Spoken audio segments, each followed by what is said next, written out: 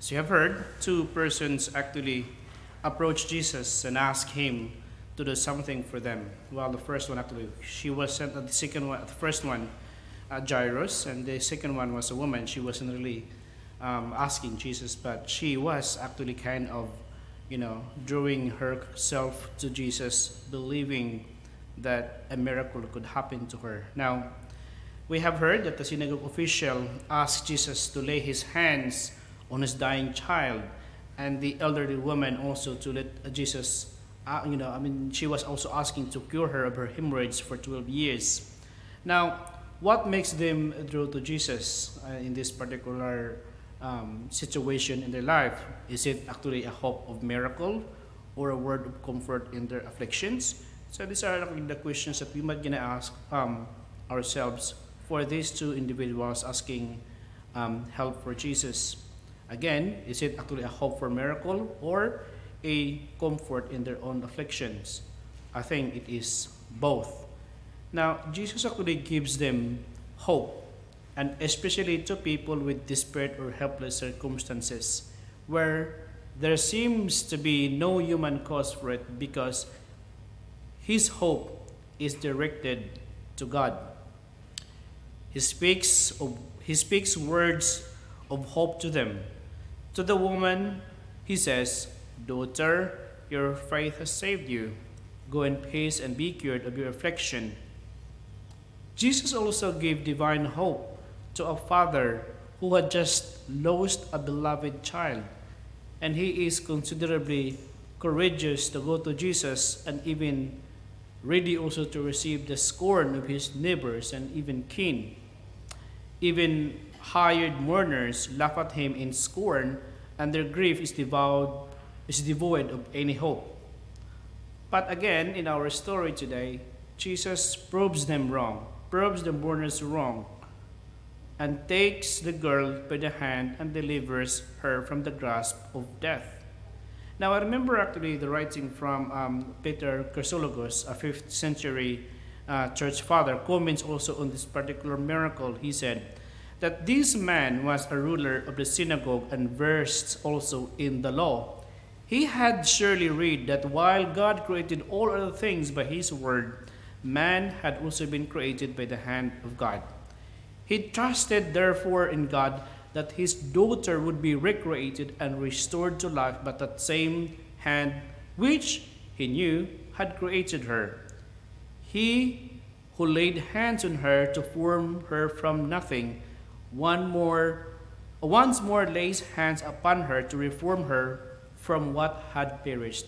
Well, she was actually this. I mean, Jairus actually was hoping and believing that Jesus actually can do more from his child because he had hope. Hope actually is essential for our Christian life. And we have a right on duty also to be confident that the God who has loved us and called us to eternal life, will never abandon us. The Catechism of the Catholic Church says to us that at baptism, God plants in every Christian the theological virtue of hope. The hope that Christians are given is a divine gift to us. It is not a shallow human wishing, but a sure confidence that God Himself gives us power to exercise. His grace calls us to make acts of hope, truthfully speaking the confidence in Him that He wishes also to have. He actually invites us all to make our lives stronger and gladder by refusing ever to cease hoping in Him. Of course, just like also these two uh, fellows, these two mm, um, individuals in our gospel story today, we also needed, or we also need to approach the Lord with expectant faith, because as I think it was also the uh, second reading from the Sunday's gospel, as Saint Paul was mentioning, three things will remain: faith, hope, and love.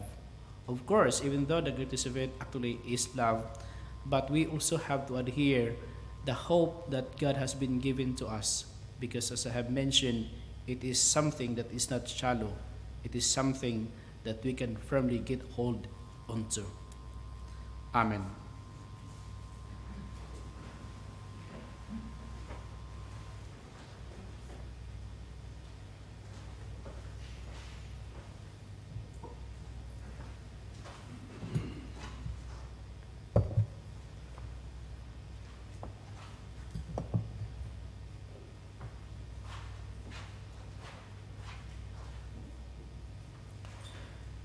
Bless you, Lord God of all creation, for through your goodness we have received this bread we offer you, fruit of the earth and work of human hands, this will become for us the bread of life.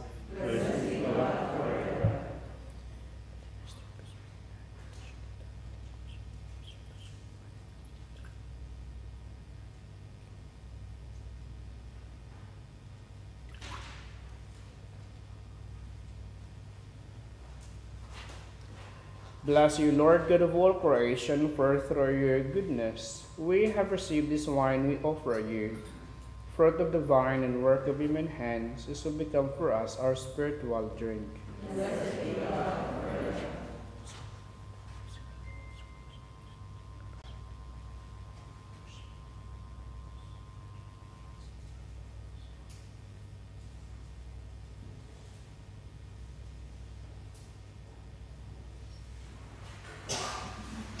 Pray, my brothers and sisters, that my sacrifice and yours may be acceptable to God, the Almighty Father.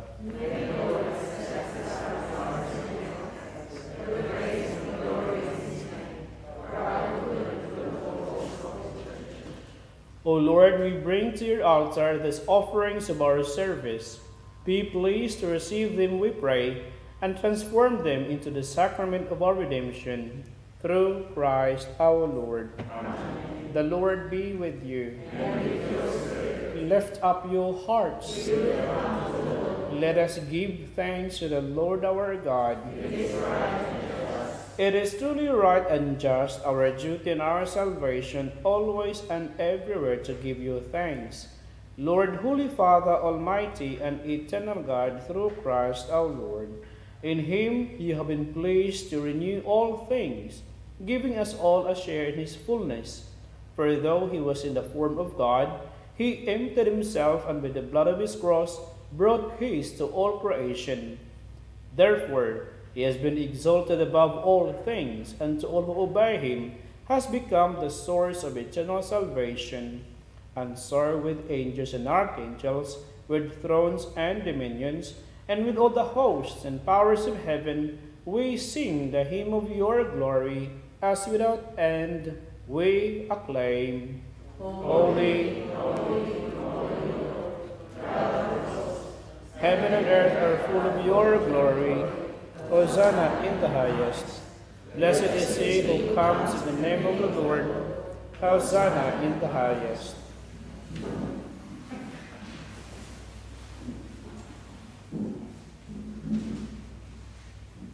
You are indeed holy, O Lord, the fount of all holiness. Make holy, therefore, these gifts, we pray, by sending down your Spirit upon them like the dew fall, so that they may become for us the body and blood of our Lord Jesus Christ. At that time he was betrayed and entered willingly into his passion. He took bread and giving thanks, broke it, and gave it to his disciples, saying, Take this, all of you, and eat of it, for this is my body, which will be given up for you.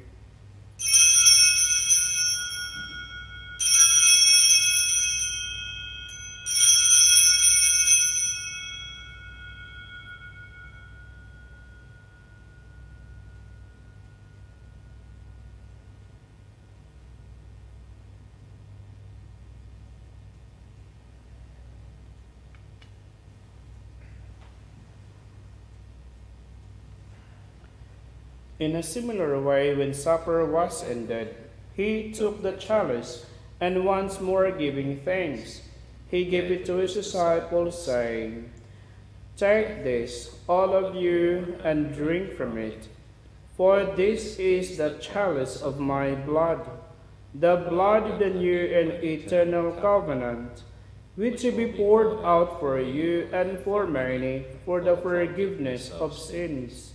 Do this in memory of me.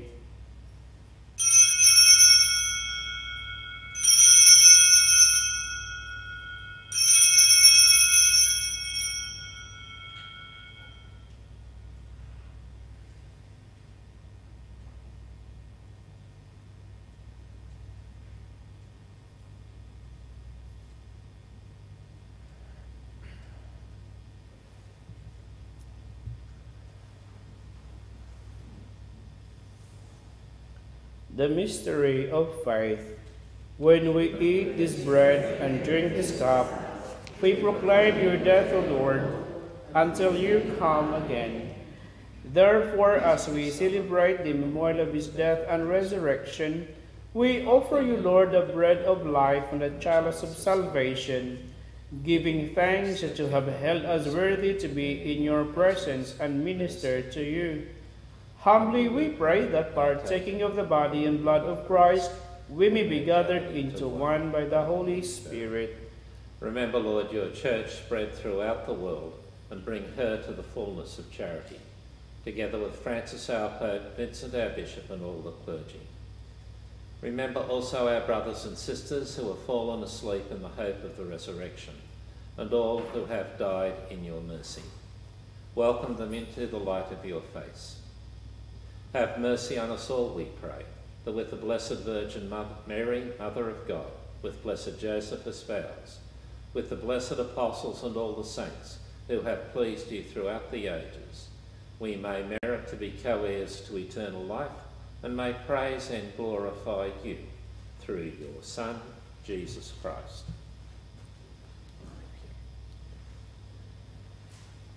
Through him and with him and in him O God, Almighty Father, in the unity of the Holy Spirit, all glory and honor is yours, forever and ever. Amen.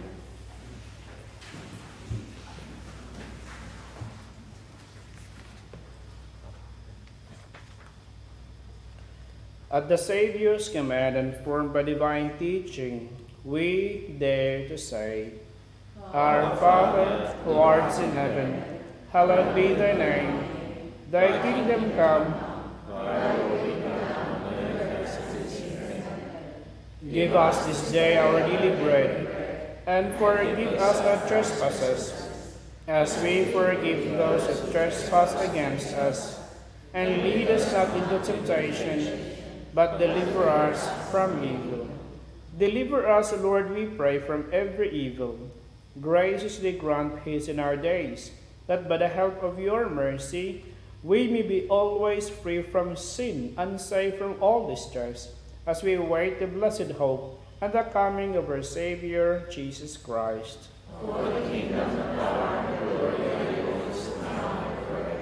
Lord Jesus Christ, who said to your apostles, Peace I leave you, my peace I give you. Look not on our sins, but on the faith of your church, and graciously grant her peace and unity in accordance with your will, who live and reign forever and ever. Amen. The peace of the Lord be with you always. And with your Lamb of God, take away the sins of the world, have mercy on us. Lamb of God, you take away the sins of the world, have mercy on us. Lamb of God, you take away the sins of the world,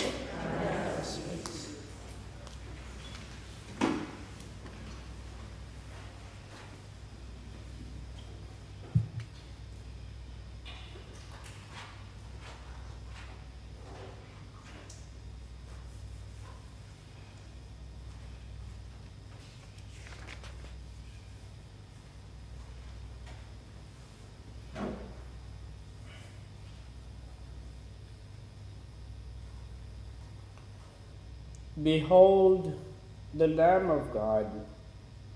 Behold him who takes away the sins of the world.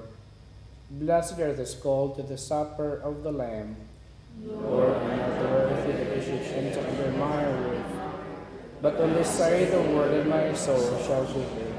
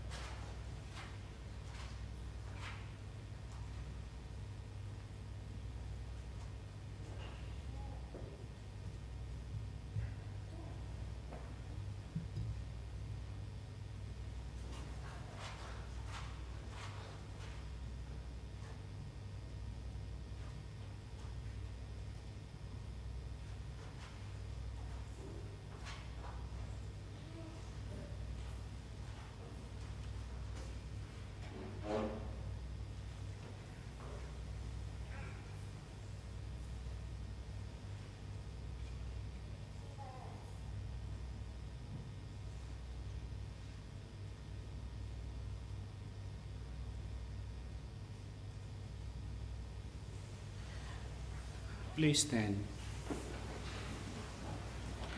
Let us pray. Nourished by this redeeming gift, we pray, O Lord, that through this help to eternal salvation, true faith may ever increase through Christ our Lord. uh, just before the final blessing, um, if you don't really mind also to uh, stacking the chairs back again on that side, after we use it. Uh, since also the school is already uh, back uh, this today, starting today, um, we, you know, we, because we are also entering the school premises around this time. If um, please also, uh, please don't also get offended if someone is telling you, especially the schools or even sometimes us, to uh, just enter actually in the in the hall maybe around nine o'clock, exactly nine o'clock, because the coach people are still here at that time. So don't get offended with that one, if you know, because it's just actually for school's protection. That's actually the the uh, child protection law uh, given to us by the government. Um, uh, let's just gonna be hoping that you know the church will be finished uh, um, maybe two weeks times, or let's just gonna be praying for that one to to have it. As I have mentioned, let's have hope. okay, we pray for that one. So hope from God actually is not deceptive anyway. So let's just, let's just gonna be hopeful. Okay. Now, if you don't really mind, as I mentioned, if you can also put the chairs back uh, on the side, please do not block also the the door the uh, thing there, um, so that the coach also can have access still. The Lord be with you. And may Almighty God bless you, the Father, the Son, and the Holy Spirit. Go forth, the Mass is ended. Together we say the Hail, Holy Queen.